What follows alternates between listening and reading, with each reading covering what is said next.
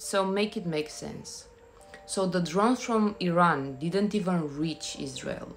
And the European Union and all the Western world is condemning Iran.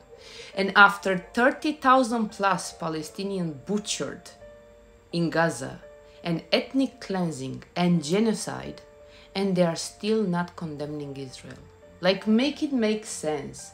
And when I see all this frenzy right now on social media with their little victim card of pray for us, pray for us, it's funny. Do you understand that we are seeing what is happening?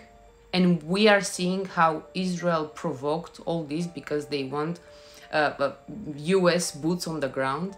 Like, it's such a circus and a shit show that I'm really wondering do they really believe that we are so stupid?